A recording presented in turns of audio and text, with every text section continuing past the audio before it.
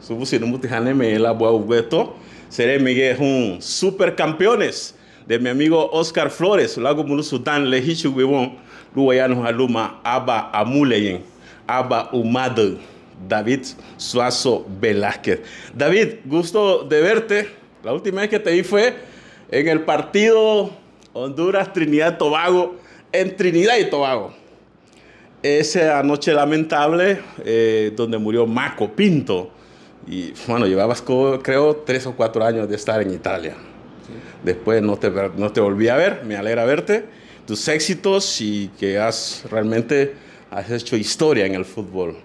Ah, este, nosotros estamos en Wadani. Wadani es un portal web garífuna.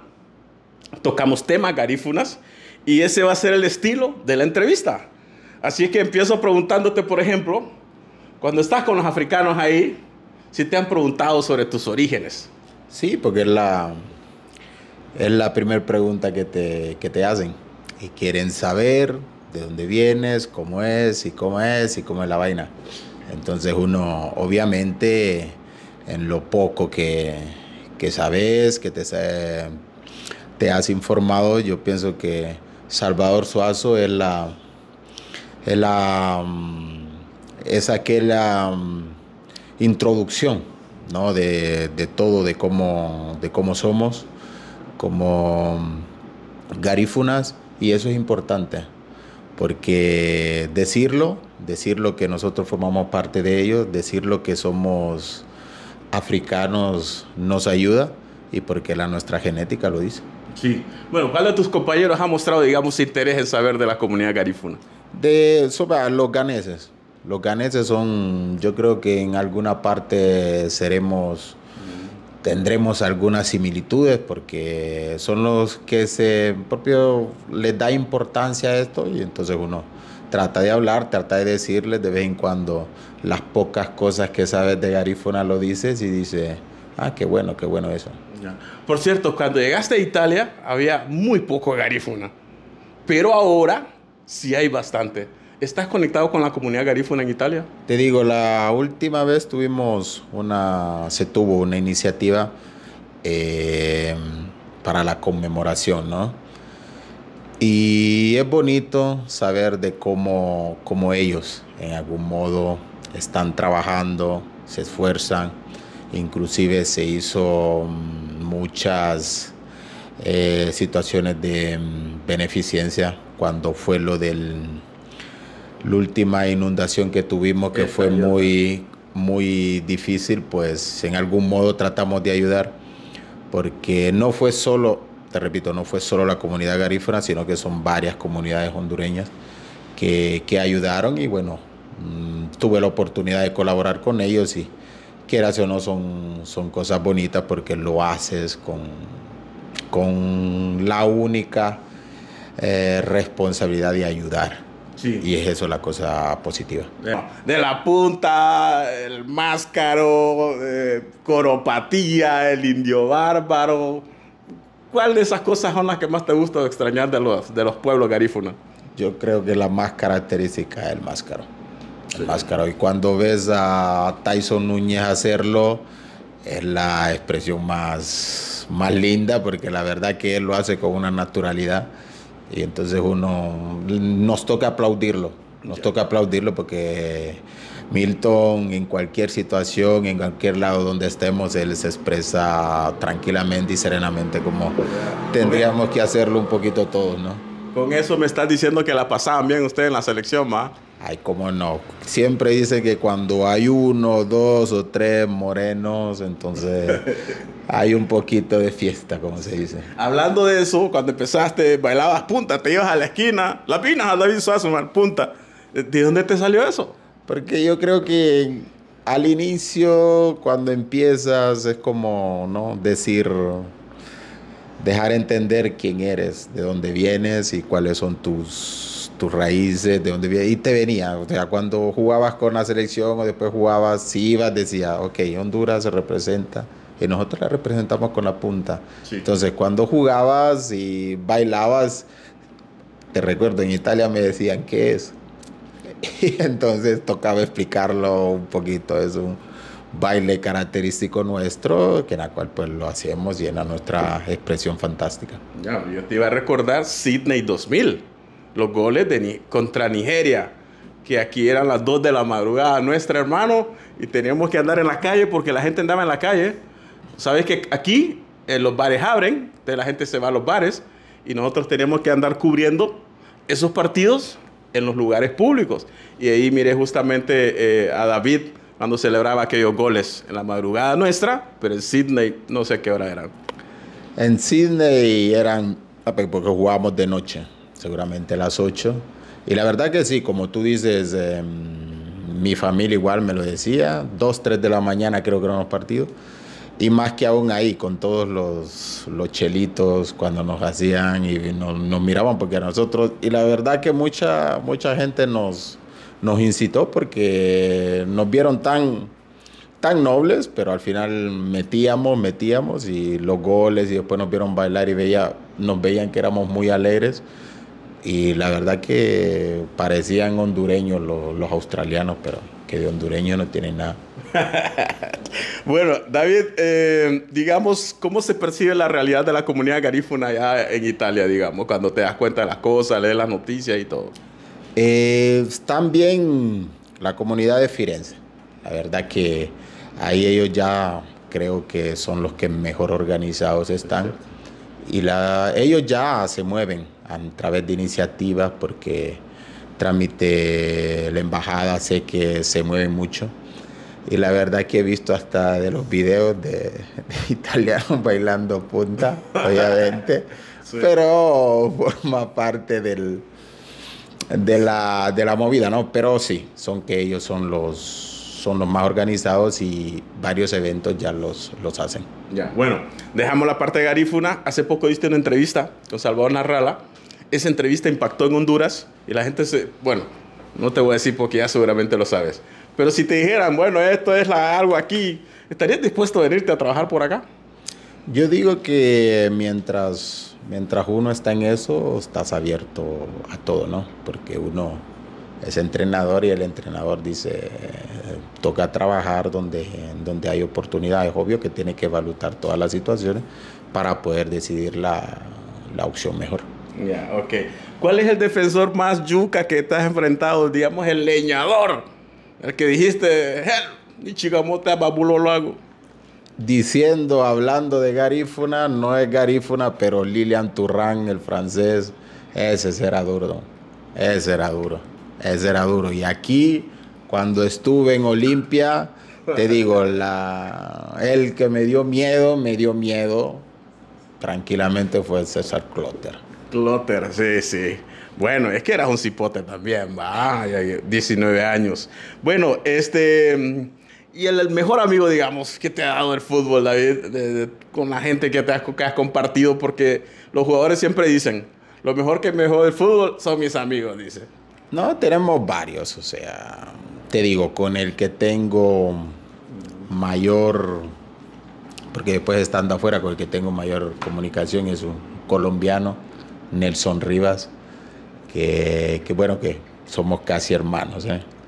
Y la verdad que son las cosas, como tú dices, las cosas bonitas que te deja el fútbol, porque estando en el ambiente, estando mucho tiempo con ellos, te vuelven tu familia.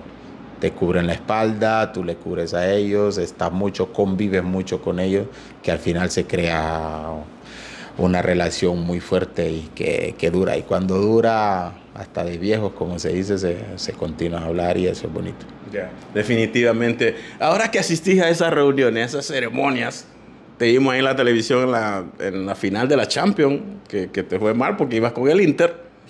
este, decime David, este, ¿cómo es el ambiente ahí, digamos, las cosas que no vemos nosotros? ¿Cómo es estar entre esa gente ahí?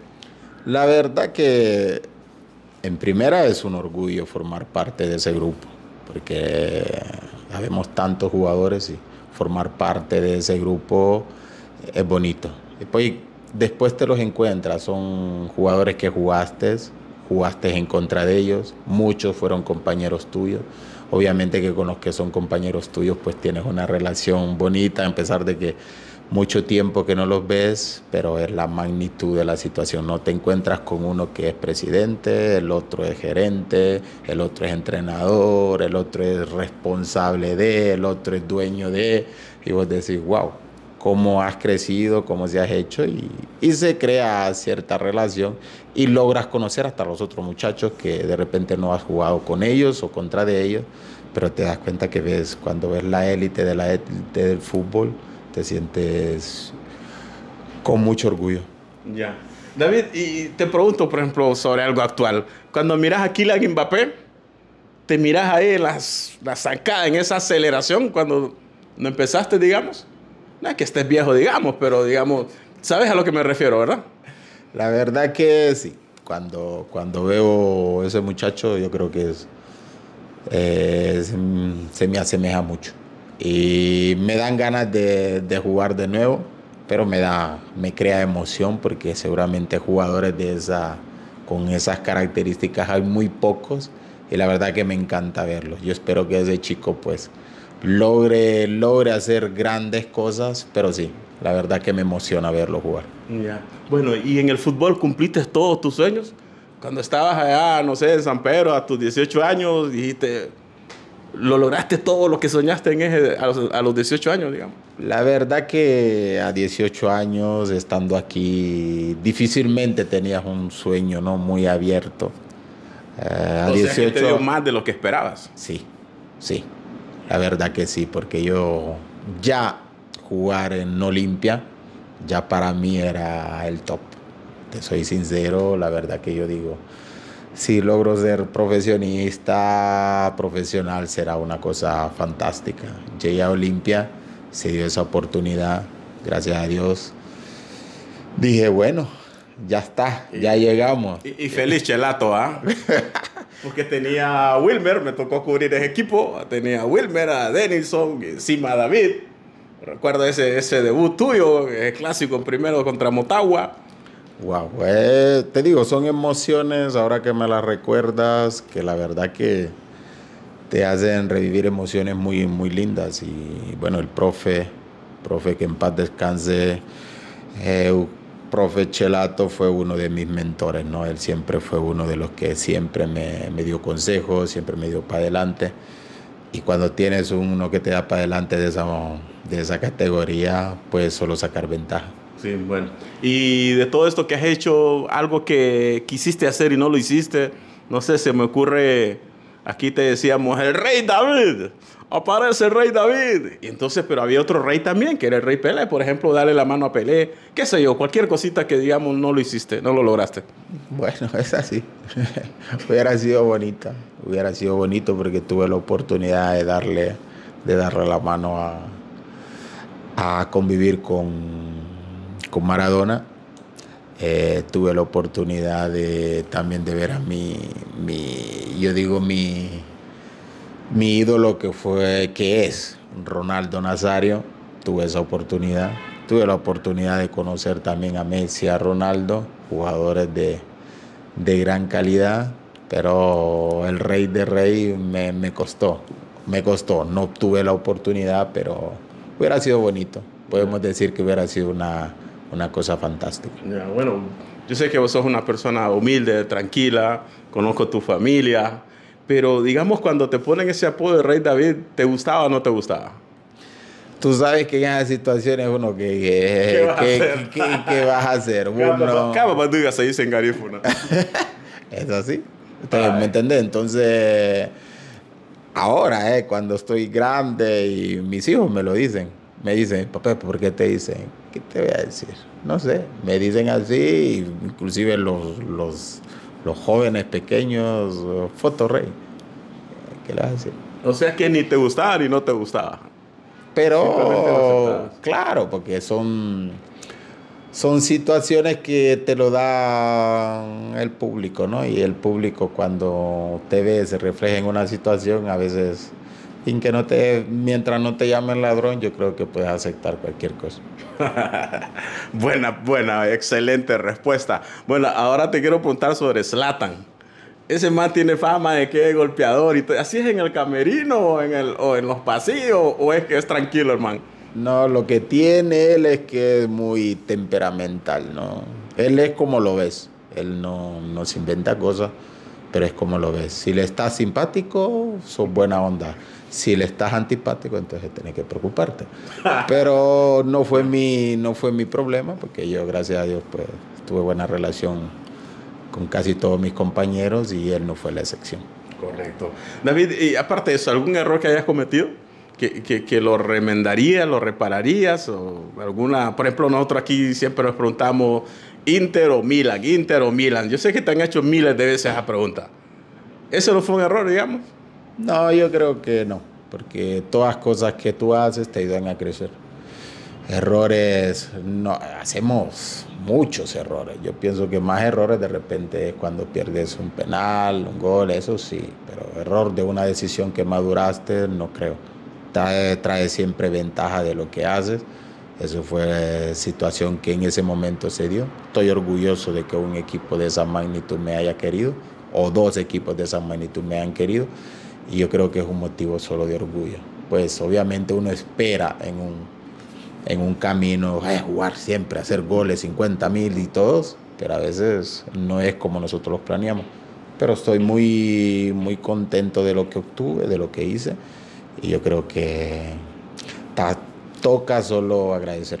Ya, bueno, finalmente me faltan dos. Es rápida tu influencia como técnico.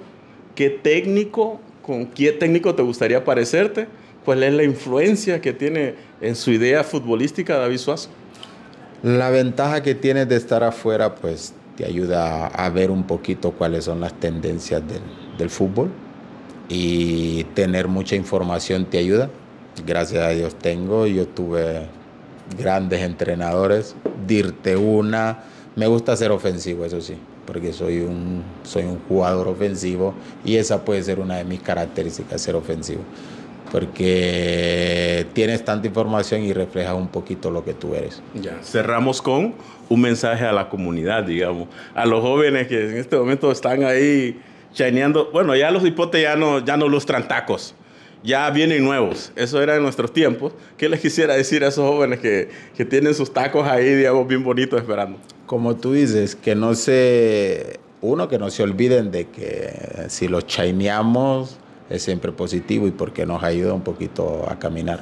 Y a los chicos, pues de caminar antes de correr, porque a veces las cosas son difíciles. Que no piensen que todo es fácil y una cosa primordial, déjamelo decir, a veces estudiar te ayuda. Okay. No dejen de estudiar porque estudiar te ayuda a través del, de entender. A esto te ayuda a asimilar muchas cosas, a entender muchas cosas y a ser valorizado mejor. Ya, ok. Ome musereme lu amule en lu umad Oscar David Suazo Velázquez. Ni a Henry Yague, ni a Henry. Henry, ¿y ya está lista la maratón? ¿Baja? ¿Ya está listo para Islas de la Bahía? Sí, ya estamos listos. Incluso el fin de semana hicimos la maratón de la prensa y no fue bien. ¿Ya ¿En qué lugar quedaste, mi hermano? No, el lugar, competí, estuve, no, lo si, si, si, quedaste en los 200. No, todavía, sí, estoy ahí, dentro de los 200 estoy, sé que estoy, eh, pero eh, es algo que día a día, por ejercicio y por salud se hace. Henry, ¿cómo, ¿cómo se entrena ahí? Voy a aprovechar contigo porque de repente hay gente que le da curiosidad a las maratones, pero es, ¿qué tan duros son los entrenamientos? Mira, es un proceso. Las maratones hay que alimentarse bien, hay que descansar bien, hay que tener un buen zapato, ¿verdad? Para correr. Si no, pues inician las lesiones. Yo te diría que hay que hacerlo poco a poco. Sí. Si no lo has hecho, empieza caminando, luego trotando y vas acumulando el tiempo. Ya. ¿Cuánto estás haciendo ahorita esos 21 kilómetros? No, 10, ki 10 kilómetros. Eh, estamos en 58 minutos. 58 minutos. Sí. Ya. ¿Y ya vas a ir a Roatán? Sí. Porque veo tu foto ahí No, entre la va- gente. Vamos para Roatán. El 29 de julio tenemos que estar en Roatán. Ya, ok. Gracias, Henry. Te agradezco mucho.